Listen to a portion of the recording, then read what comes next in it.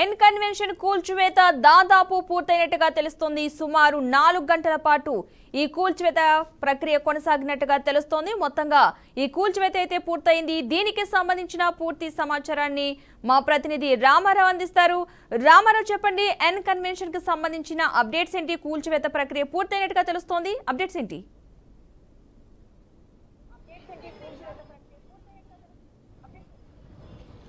Yes Padma ఇప్పుడు మేము మాదాపూర్లోని తుమ్మిడికుంటలో చెరువుకు సమీపంలో ఎన్ కన్వెన్షన్. అంటే ప్రముఖ సినీ నటుడు అక్కినేని నాగార్జున అక్రమంగా కట్టారు కట్- కట్టుకున్నారంటూ ఇక్కడ హైడ్రా అంటే హైదరాబాద్ డిజాస్టర్ రెస్పాన్సిబిలిటీ అథారిటీ సంబంధించిన అధికారులు ఈ ఉదయం కూల్చివేతలు ప్రారంభించారు.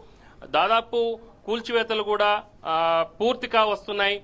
అయితే ఆ, రెండు రోజుల క్రితము ఇది బఫర్ జోన్ కింద అక్రమంగా కట్టారంటూ నాగార్జునకు సంబంధించిన కుటుంబ సభ్యులకు నోటీసులు ఆల్రెడీ ఇచ్చారు. అయినప్పటికీ కూడా మరి వాళ్ళు పోలీస్ ఉన్నతాధికారులకు అప్రోచ్ కావడం కానీ లేదా కోర్టుకు అప్రోచ్ కావడం కానీ చేయలేదు కాబట్టి ఈ రోజు ఉదయం వారు అంటే వాళ్ళకు ఇచ్చిన సమయం కూడా దాటిపోవడంతో ఈ రోజు ఉదయము భారీ బందోబస్తు నడుమ దాదాపు పోలీసులు అలాగనే మున్సిపల్ జిహెచ్ఎంసీ అలాగే హైడ్రా అధికారుల సహకారంతో మూడు బుల్డోజర్లతో ఇక్కడ కూల్చివేతలు ప్రారంభించారు. దాదాపు కూల్చివేతలు పూర్తి అయినాయి. ఇప్పుడు మనం చూస్తున్నాం. నిజంగా చెప్పాలంటే ఇక్కడ పూర్తిగా ఇది బఫర్ జోన్. ఇది ఈ ఒకప్పుడు తుమ్మిడికుంట గ్రామానికి చెందిన ఊర చెరువు ఇది. ఈ ఊర చెరువు పక్కన దాదాపు మూడున్నర ఎకరాల్లో కన్వెన్షన్ సెంటర్ని ఏర్పాటు చేసుకొని దాదాపు రెండు వేల పదిహేను ఆగస్టు ఇరవై తేదీ నుంచి ఇక్కడ కార్యకలాపాలు ప్రారంభించ ప్రారంభించుకున్నారు. అప్పటి నుంచి అంటే దాదాపు తొమ్మిది సంవత్సరాల నుంచి ప్రతి ఈవెంట్కి కోట్లలో లక్షల్లో ఇక్కడ మరి ఇక్కడ చేర్ చేసేవాళ్ళు. ఈ విధంగా ఇక్కడ అక్రమంగా కన్వెన్షన్ ఇక్కడ నిర్మాణం చేసుకుంటూ ఇక్కడ వాళ్ళ వ్యాపారం కొనసాగిస్తున్నారంటూ చాలా మంది హైడ్రాకు కంప్లైంట్ చేశారు. అయితే ఇటీవల వర్కింగ్ బీఆర్ఎస్ వర్కింగ్ ప్రెసిడెంట్ మాజీ మంత్రి కేటీఆర్ సంబంధించిన జాన్వాడలోని ఫామ్ హౌస్ని కూడా కూల్చివేస్తామంటూ హైడ్రా అధికారులు నోటీసులు ఇచ్చిన విషయం తెలిసిందే. ఈ నేపథ్యంలో కేటీఆర్ వారు కోర్టును హైకోర్టును కూడా ఆశ్రయించారు. అయితే హైకోర్టు దీని మీద మొట్టకాయ కూడా వేసింది. పది పదిహేను సంవత్సరాల తర్వాత వాళ్ళు నిర్మాణాలు చేసుకున్న తర్వాత వెళ్ళి కూల్చివేస్తామని అంటే అది సబబ్ కాదు కదా అని కూడా ప్రశ్నించింది. అయితే అక్రమ కట్టడాలు మాత్రం తప్పనిసరిగా కూల్చివేయాల్సిందే అని కూడా మరొక మాట హైకోర్టు ఇచ్చిన ఇచ్చింది. అయితే ఈ నేపథ్యంలో నాగార్జున కుటుంబానికి రెండు రోజుల క్రితం ఆ హైడ్రా అధికారులు నోటీసులు ఇచ్చారు. నోటీసులు ఇచ్చిన తర్వాత ఈ రోజు కూల్చివేతలు ప్రారంభించారు. అయితే జాన్వాడకు సంబంధించిన ఫామ్ హౌస్లో ఉన్న కట్టడాలను కూడా కూల్చివేసే కూ- త్వరలో కూల్చివేస్తామని చెప్పేసి హెచ్చరించడం కోసం పరోక్షంగా ఈరోజు ఇక్కడ కూడా ఇది జరిగిందని చెప్పేసి కొంత టాక్ వస్తుంది. అయితే పద్మ మొత్తానికైతే ఒకవైపు నుంచి హర్షం మరోవైపు నుంచి విమర్శం అనేది కూడా ఇక్కడ కనబడుతుంది.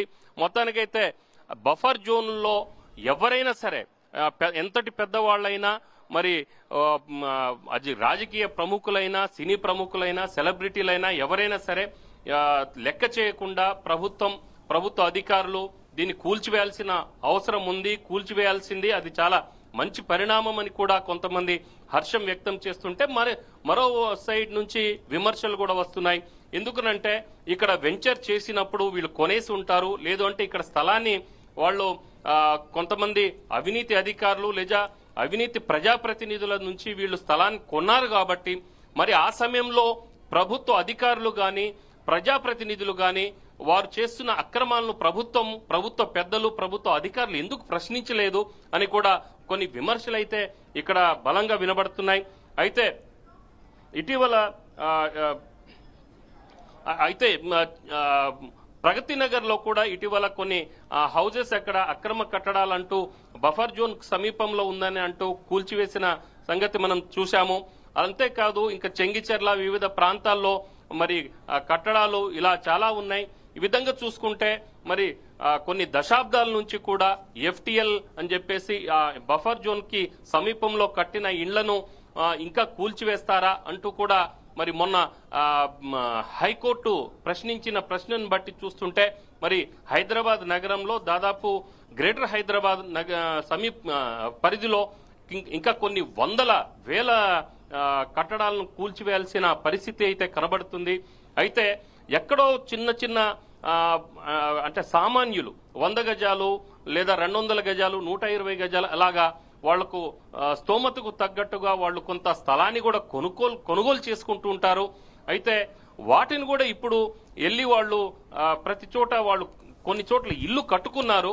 ఆ కట్టుకున్న ఇళ్ళను మరి కూల్చివేస్తున్నారు.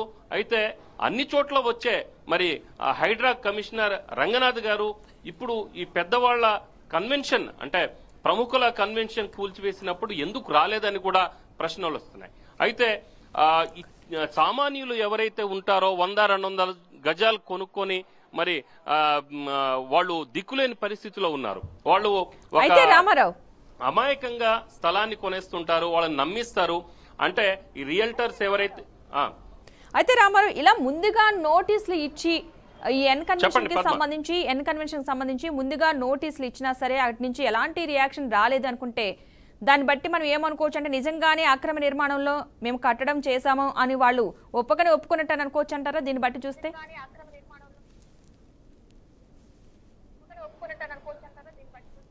అంటే ఈ విధంగానే అనిపిస్తుంది ఇక్కడ విషయం ఏంటంటే రెండు రోజుల క్రితం కుటుంబ నాగార్జున కుటుంబ సభ్యులకు హైడ్రా అధికారులు వచ్చి కలిసి వారికి నోటీసులు ఇచ్చారు. ఇచ్చినప్పటికీ కూడా ఇప్పటివరకు వాళ్ళు స్పందించలేదు. దాని మీద నాగార్జున గాని నాగార్జున కుటుంబ సభ్యులు గాని లేదా వారి తరఫున ఏ సంబంధించిన వ్యక్తులు ఎవరు కూడా వచ్చి అప్రోచ్ కాలేదు. కాబట్టి దీన్ని బట్టి అర్థం చేసుకోవాల్సిన విషయం ఏంటంటే ఇది వారు కట్టింది ఇది బఫర్ జోన్ సమీపంలో కట్టామనేది వాళ్ళు రియలైజ్ అయి ఉంటారు. అందుకనే వాళ్ళు ఈ కట్ కూల్చివేత సమయంలో కూడా ముందుకు రాలేదని చెప్పేసి అంటున్నారు. అయితే కొంతమంది మాత్రం వీళ్ళు ఎవరో సమ్ కొంతమంది అవినీతి అధికారులు ప్రజాప్రతినిధుల బుట్టలో పడి ఉంటారని చెప్పేసి అంటున్నారు. ఎందుకంటే నాగార్జున ఒక సినీ ప్రముఖుడు భారీగానే ఆయనకు కొంత అభిమానులు ఉన్న విషయం అయితే వాస్తవము. వాళ్ళ కుటుంబ సభ్యులకు ఒక టాలీవుడ్లో టాలీవుడ్లో కానీ ఈవెన్ యావత్ తెలుగు రాష్ట్రాల్లో మంచి అభిమాన అభిమానులు ఫాలోవర్స్ ఉన్నారు వాళ్ళకి. వాళ్ళైతే ఇలాంటి చేయరనే మాట అయితే వస్తుంది. అయితే ఎక్కడో. వీళ్ళు అవినీతి అధికారులు అలాగనే అవినీతి ప్రజాప్రతినిధుల మాట విని ఇక్కడ మోసపోయినట్లుగా కూడా కనబడుతుంది పద్మ. అయితే ఈ ఎన్ కన్వెన్షన్ కూల్చివేత ప్రాంతంలో ఈ ఎన్ కన్వెన్షన్కి సంబంధించిన వ్యక్తులు ఎవరైనా ఉన్నారా అక్కడ? ప్రెసెంట్?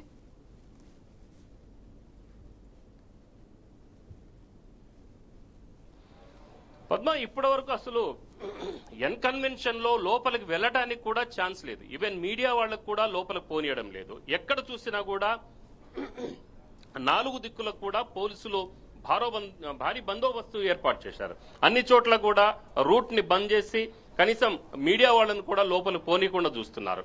ఆ విధంగా చూస్తే ఇక్కడ ఈవెన్ ఒక మీడియా వాళ్ళు కూడా ఒక పక్కన ఒక నిర్మాణంలో ఉన్న కట్టడం దగ్గరకు వచ్చేసి అక్కడి నుంచి ఒక ఐదారు అంతస్తుల పై నుంచి ఇక్కడ విజువల్ తీసుకోవాల్సిన పరిస్థితి ఏర్పడింది ఇక్కడ. అయితే ఇక్కడ నుంచి చూస్తుంటే కూడా లోపల ఒక్క పురుగు కూడా కనిపించట్లేదు.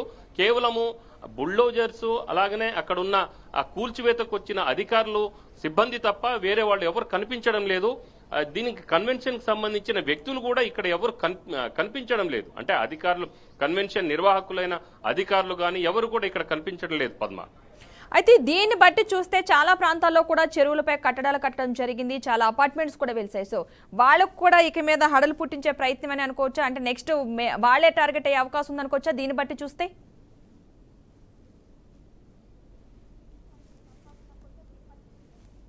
ఇప్పుడు అలా అనుకోవాల్సిందే. ఎందుకనంటే హైడ్రా తన యొక్క పని తాను చేసుకోబోతుందని చెప్పేసి అంటున్నారు.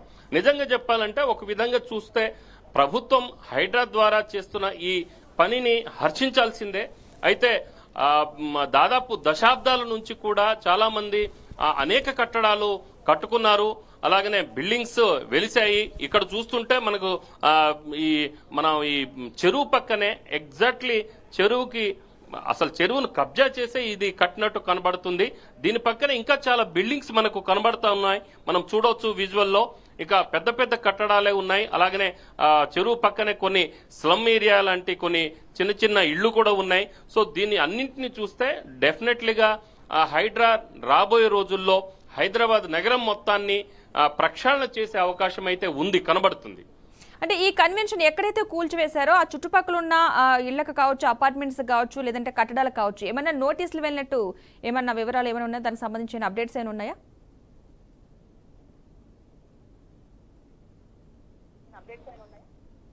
వరకు ఇంకా మొత్తానికైతే ఈ ఎన్ కన్వెన్షన్ సంబంధించిన కూల్చివేత మాత్రం ఇక్కడ ప్రారంభించారు. ఇక నెక్స్ట్ స్టెప్ మాత్రం అదే జరిగే అవకాశం కనబడుతుంది పద్మ. ఇక్కడ ఎందుకునంటే వాళ్ళు ఒకసారి స్టెప్ తీసుకున్నారు. ఆ తర్వాత మళ్ళీ కేవలం ఉన్నత అంటే ప్రముఖులకు సంబంధించిందే కూల్చివేస్తారా? లేకుంటే అంటే చిన్న చిన్న వాళ్ళకి సంబంధించిన ఇళ్ళైతే ఇప్పటివరకు చాలా కూల్చివేశారు.